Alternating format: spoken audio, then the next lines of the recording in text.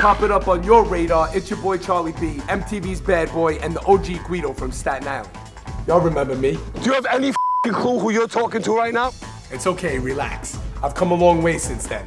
I'm actually the founder of the New York City Art Cypher, a nonprofit organization which promotes positive values through arts and entertainment.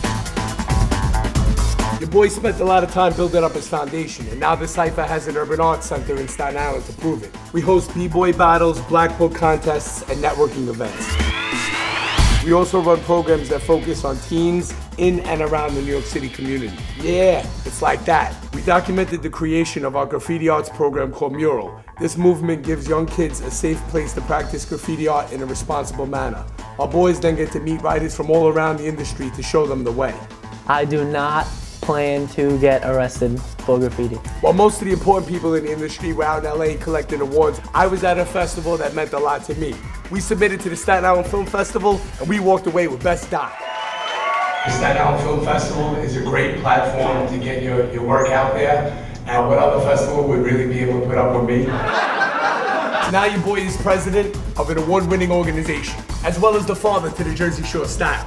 They're witness to the next level of hair gel entertainment.